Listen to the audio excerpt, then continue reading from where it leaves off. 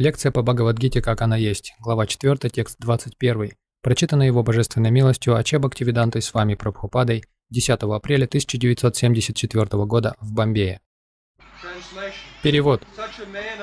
Такой мудрый человек владеет своим умом и разумом, не считает себя собственником того, что ему принадлежит, и заботится об удовлетворении только самых насущных потребностей своего тела – Действуя таким образом, он никогда не навлекает на себя греха.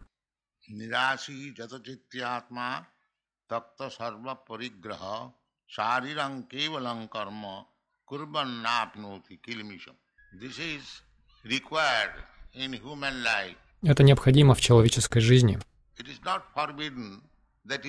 Есть не запрещается. Вы не обязаны голодать. Об этом шастры не говорят to keep your health and body and the body and the soul together, you must чтобы поддерживать uh, тело в здоровом состоянии, вы должны жить нормально, uh, хорошо, чтобы не болеть. Дело в том, что человеческая форма жизни предназначена для того, чтобы мы продвигались и решили все проблемы своей жизни. Поэтому это необходимо.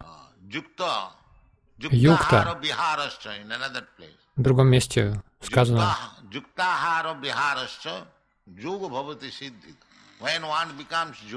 когда человек становится йогом, истинная цель нашей жизни — стать йогом.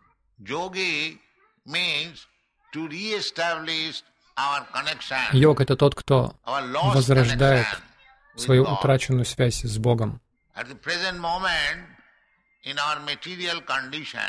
В настоящий момент, находясь в материальных условиях, мы позабыли о своих вечных отношениях с Богом, с Кришной.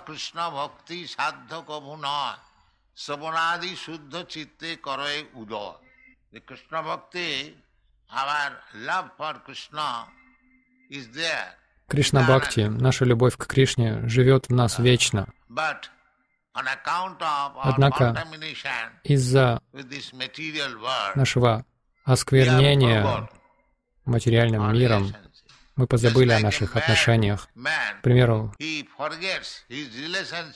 если безумец забывает о своей связи со своей семьей, он начинает бродить по улицам, он ест где попало, все, что попало. Хотя у него может быть очень богатый отец, он может быть из состоятельной семьи, но он позабыл. Безумие означает забвение о его истинной жизни. И вот сейчас мы забыли о нашей реальной жизни. Об этом очень ярко говорит один поэт Вайшнав.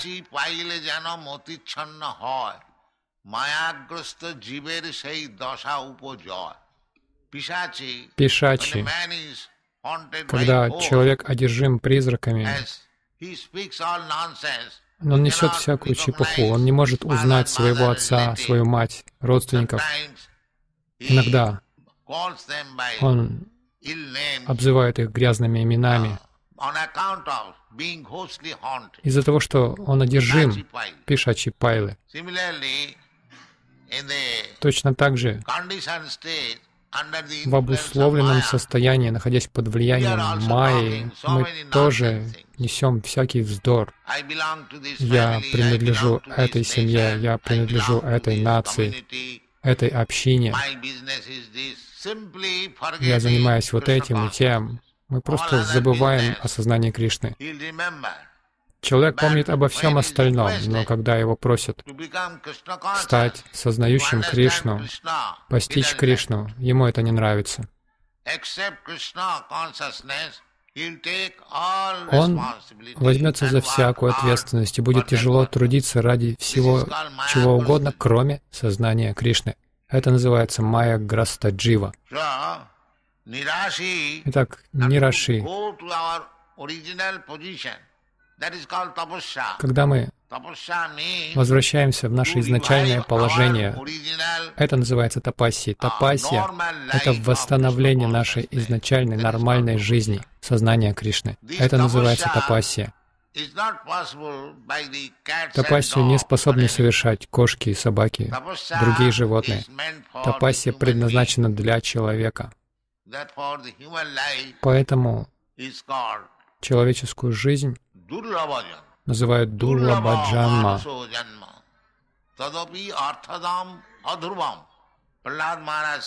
Прохлад Махарадж говорит, Дурлавам манусанг джанма тадапи артадам адурвам.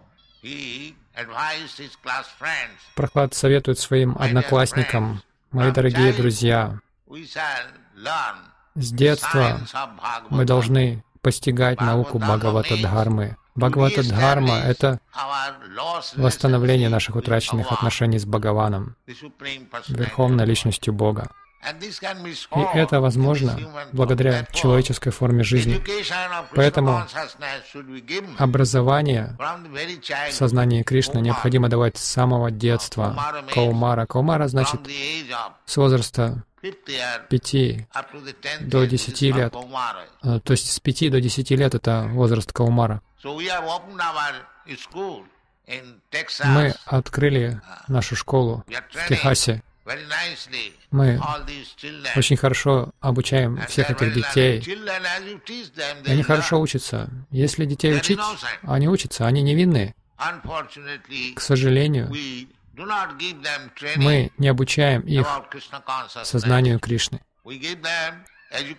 Мы даем им образование в том, как услаждать чувства, как зарабатывать деньги, развивать экономику. Экономическое развитие означает зарабатывать как можно больше денег и удовлетворять как можно дольше удовлетворять чувства. Это современная теория. Но Кришна говорит, чтобы достичь совершенства жизни, человек должен быть нираши. Нираши означает не желать излишних чувственных наслаждений. У каждого есть право на жизнь и на хорошую жизнь. И ради этой цели Господь достаточно всего предоставил. Он все хорошо организовал. Ни одно живое существо не будет голодать в Его Царстве. Он все устроил. Но когда мы забываем все больше и больше забываем Кришну, Бога. Природа будет наказывать нас. Она будет ограничивать нас э, в продуктах питания. Так действует закон природы.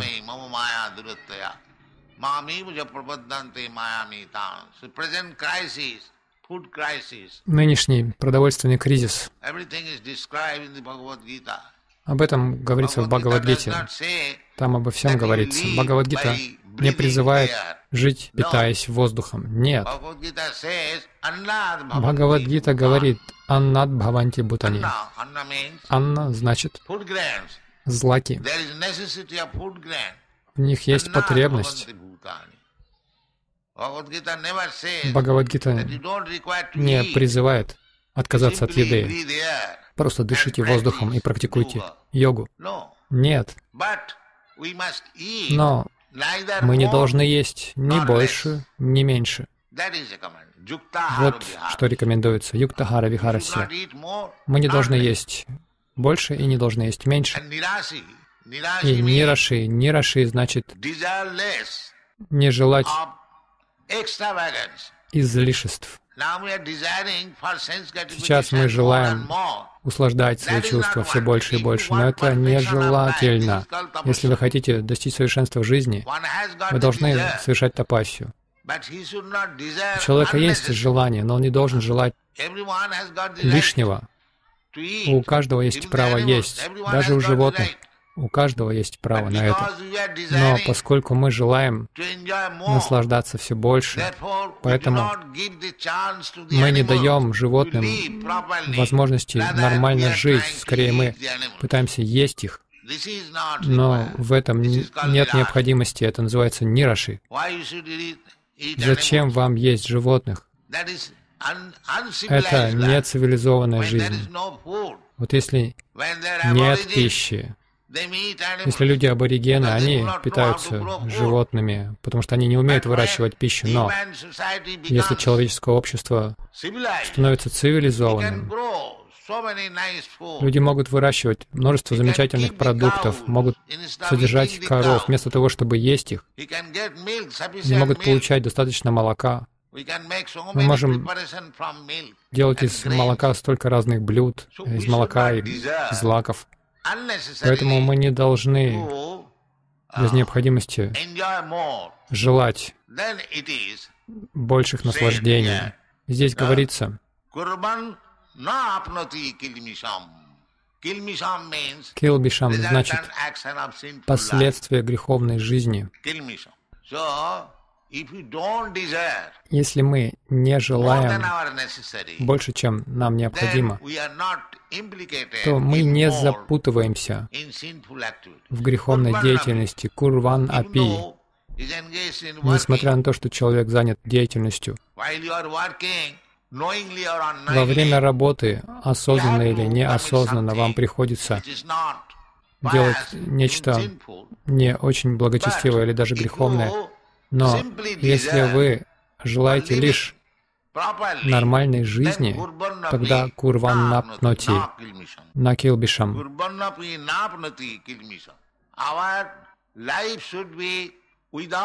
Мы должны жить, не навлекая на себя последствия греховной деятельности. В противном случае нам придется страдать, но люди не верят, хотя они видят столько отвратительных форм жизни. Откуда они берутся? 8 миллионов 400 тысяч форм жизни. Есть столько форм жизни, которые пребывают в очень отвратительных условиях. Конечно, животные не понимают этого, но мы, люди, мы должны знать, Откуда появляются эти отвратительные формы жизни? Это иллюзия Майи. Например, свинья живет в очень грязных условиях, питается экскрементами, и тем не менее считает, что она счастлива, и поэтому толстеет. Если человек чувствует себя счастливым, он полнеет. И вы увидите, что эти свиньи, они очень толстые, но что они едят? Они питаются испражнениями, живут в грязном месте, но они думают, как же я счастлив. Такова иллюзия Майи. Человек живет в отвратительных условиях, но под влиянием иллюзии он думает, что у него все неплохо, он живет идеально. Однако человек, который находится выше, он понимает, что тот живет в отвратительных условиях. Так эта иллюзия имеет место, но благодаря знанию, благодаря хорошему общению, благодаря наставлениям шастр, гуру, святых, человек должен понять ценность жизни и жить соответственно этому. Этому учит Кришна. Нираши не следует желать без необходимости, не следует желать больше, чем нужно для жизни. Это называется нираши. Другое значение этого слова — не склонность к материальным наслаждениям, это возможно, когда человек обладает полным, совершенным знанием. Я не тело, я душа. Моя потребность в том, чтобы продвигаться в духовном знании, вот тогда человек становится нирашей. Все это элементы, необходимые для тапасии, для аскезы. Сейчас люди забыли об этом, они не знают, что такое аскеза. Но человеческая жизнь предназначена для этой цели.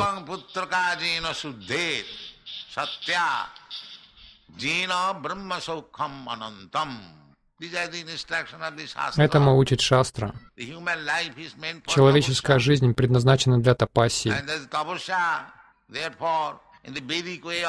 Поэтому ведический образ жизни предполагает, что жизнь начинается с тапассии, брамачари. Ученика посылают в Гурукулу для практики брамачари. Это тапасия. Эта жизнь не очень-то легка. Он спит на полу, он ходит от дома к дому, чтобы собирать милостыню для гуру. Но такие брамачари не устают, потому что они дети, если их научили этим аскезам, они привыкают к этому. Они называют всех женщин «мать», «мать, дай мне пожертвование». И они возвращаются в дом гуру. Все принадлежит гуру. Такова жизнь брамачари. Это тапасия. Это ведическая цивилизация. С самого начала жизни детей следует обучать тапаси, брамачарья, целибату. Брамачари не имеет права встречаться с какой-либо молодой женщиной. Даже если она жена гуру, он не имеет права подходить к жене гуру. Он должен следовать этим ограничениям. Где же сейчас брамачарья? Нет никакой брамачарии. Это Кали-юга, никакой тапаси. Но согласно ведической цивилизации, Варнашама Дхарма. Ведическая цивилизация — это четыре варны, четыре ашрама.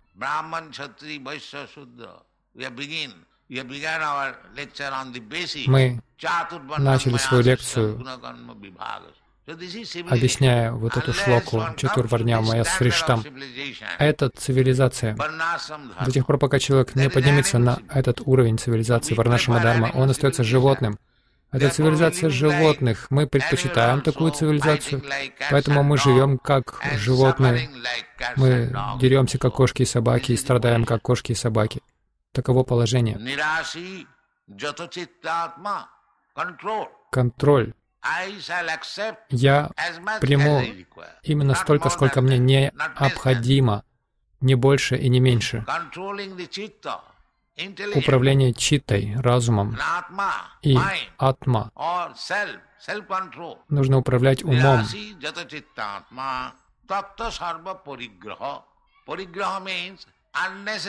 Париграха означает без необходимости что-то накапливать. Аттягара. Ширупа Госвами дал определение тому, что убивает бхакти.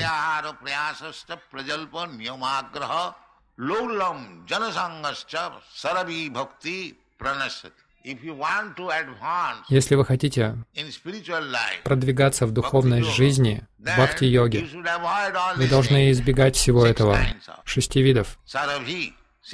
Шадбхи, Бхактир Пранашати, Бхактир Винашати. Что это такое? Аттихара. Есть больше, чем необходимо. На самом деле мы не должны есть пока не проголодаемся как следует. Это значит правильное питание.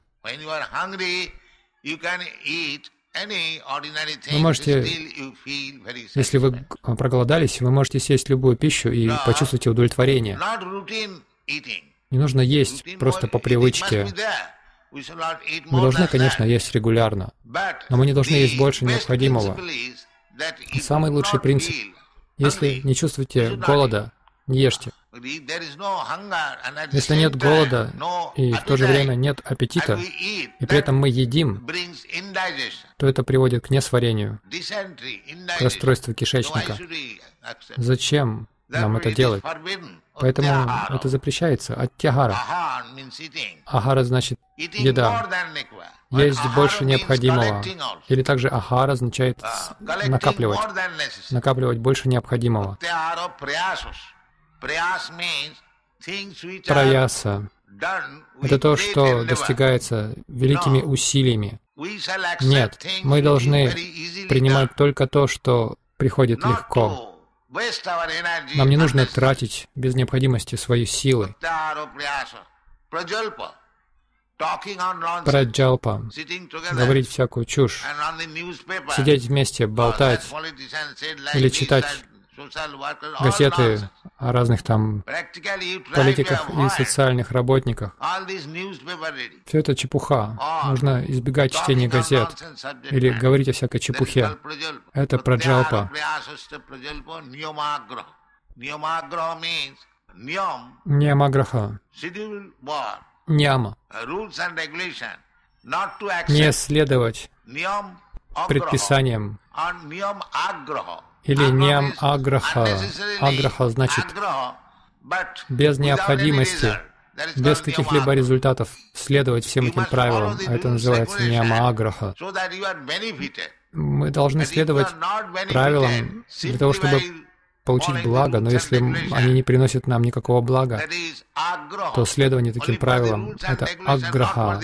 Мы следуем только ради следования, но не, не ради плодов. Мы должны видеть, что это приносит результат. Джана Сангашча общаться с нежелательными людьми.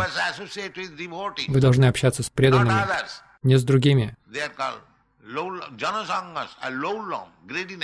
И лаулям, жадность. Если вы постигаете науку преданного служения, вы должны всего этого избегать. И противоположность этим качествам.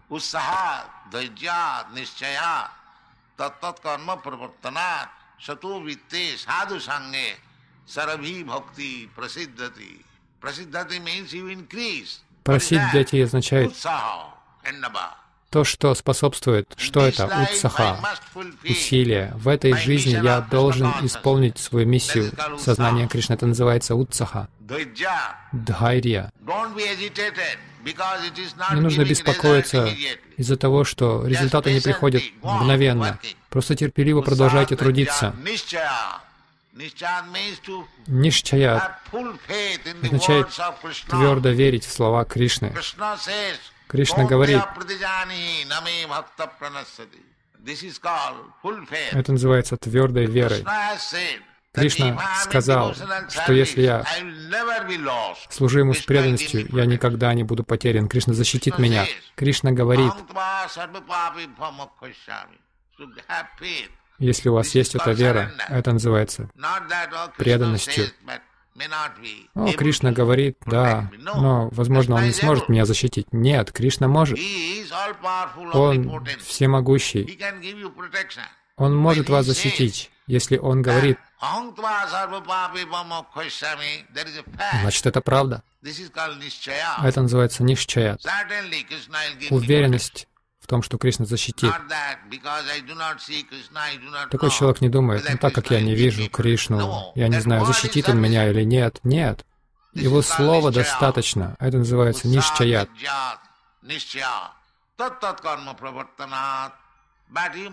Но вы должны следовать правилам, какими они даны в шастрах. Не думайте, что Кришна защитит меня, а я могу заниматься чем хочу. Я могу есть, что хочу, делать все, что хочу. Как один негодяй советует. Нет такого явления, как ограничение на пути самопознания. Вы можете есть все, что хотите, делать все, что хотите. И людям нравится такая программа. Но как только говорят об ограничениях, им это противно. Поскольку мы накладываем множество ограничений, в западном мире меня называют консервативным свамиджи. Мы должны стать консервативными, мы должны следовать правилам. Мы не можем допускать такой свободы. Делайте все, что хотите, но при этом вы можете прогрессировать в духовной жизни. Это исключено, потому что духовная жизнь подразумевает тапассию. В былые времена великие святые шли суровым путем подвижничества, в течение тысяч лет, сотен лет. И тогда они достигали успеха. В Кали-йогу мы не способны на такую суровую тапасию. И поэтому есть уступка. Уступка в том, что вы можете жить чистой жизнью и повторять мантру Хари Кришна. Этого достаточно. Чистая жизнь значит не вступать в недозволенные половые отношения, не употреблять одурманивающие средства, не есть мясо и не играть в азартные игры. Это чистая жизнь. Эти юноши и девушки, присоединившиеся к этому движению, а, отказались от всего этого, но они не умирают. Никто не умрет, если он ведет чистую жизнь. Все только будут расти духовно благодаря этому тапасья Брамачарьяна. Так заповедует Шастра, если вы хотите быть счастливыми, саттва значит Мое существование. В настоящий момент, мое существование не является шудха, чистым. Например, если у вас отравлен организм, вы заболеваете. Что касается души, живого существа, то это своего рода болезнь, джанма мритю джара вьядхи. Это факт, поскольку душа вечна. Душа вечна. Она не умирает. Она не исчезает после разрушения тела. Но она меняет его. Мритю. Джанма мритю означает смена тела. Люди должны проявлять разум, чтобы узнать, зачем мне приходится терпеть эти страдания повторяющихся рождений и смертей. Но они не знают об этом, о том, что есть жизнь без рождения и смерти. После того, как мы покинем свое тело, мы можем больше не рождаться в материальном теле. Есть такая жизнь, и у нас есть эта информация. Почему мы не должны исполнить миссию нашей человеческой жизни? Зачем без необходимости желать всех этих наслаждений? Вот что такое тапасия. Если если мы наслаждаем свои чувства, ахара, нидра, бхая, майтху, намча, едим, спим, занимаемся сексом, защищаемся, мы столько жизней делали это, Почему хотя бы эту жизнь не посвятить тому, чтобы следовать совершенному пути, и избавиться от смерти, от рождения, от болезни, от старости. Они думают, что все это утопия, но мы так не считаем. Мы верим в слова Кришны, в слова Шастры. И мы пытаемся принять это, практиковать это и проповедовать это. И в этом смысл движения сознания Кришны.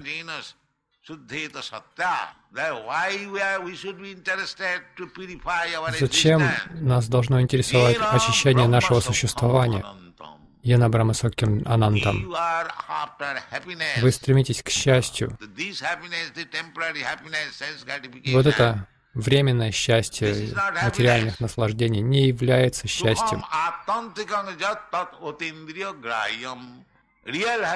Настоящее счастье запредельно материальным наслаждением. Это настоящее счастье. Мы должны искать этого счастья.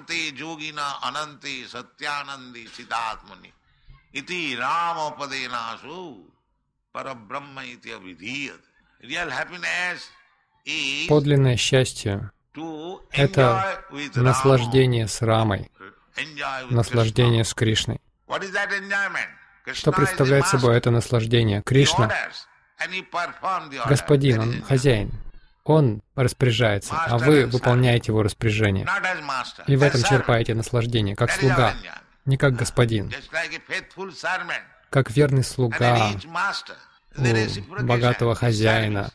Он отвечает хозяину взаимностью, оказывая ему служение. И хозяин доволен служением своего слуги, и слуга доволен тем, что он служит господину. Таковы наши отношения. К сожалению, мы пытаемся стать господином, вместо того, чтобы покориться и стать... Мы в действительности вечные слуги. Мы не можем быть господами. Если мы не становимся слугой Кришны, нам придется стать слугой своих чувств. Вот и все. Но мы не можем не быть слугой.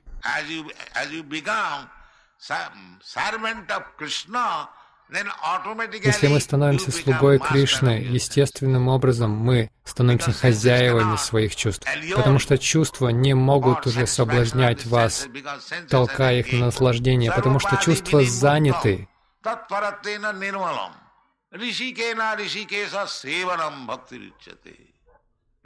Хришикеша — это одно из имен Кришны, Хришикеша. Хришика значит чувство. Когда мы посвящаем свои чувства служению Господину чувств, то это называется бхакти. Как только мы направляем свои чувства на упадхи, сарвападхи, у нас столько упадхов.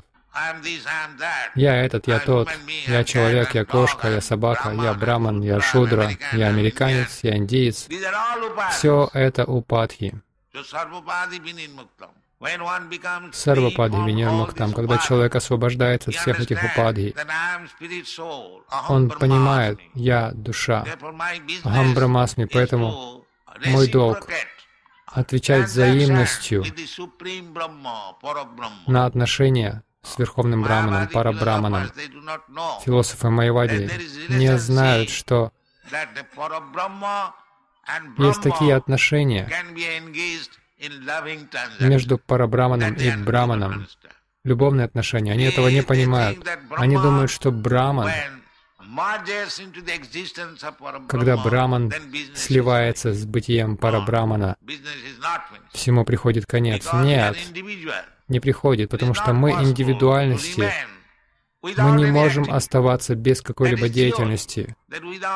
Идея о том, что мы можем оставаться без какой-либо деятельности, всего лишь теория. Это невозможно.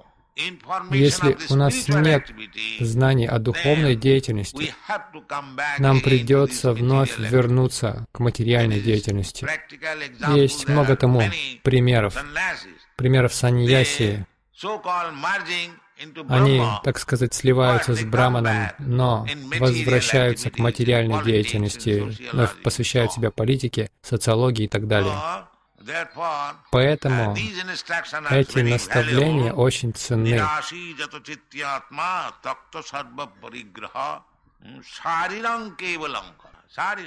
Шарира, делайте только то, что необходимо, чтобы поддерживать ваше тело. Будьте удовлетворенными. Все, что дает Кришна, довольствуйтесь этим. Не стремитесь накапливать все больше и больше. Экономьте время, чтобы продвигаться в сознании Кришны. С великим энтузиазмом вы можете продвигаться в сознании Кришны. Шарирам Кевалам. Не нужно действовать ради своих наслаждений.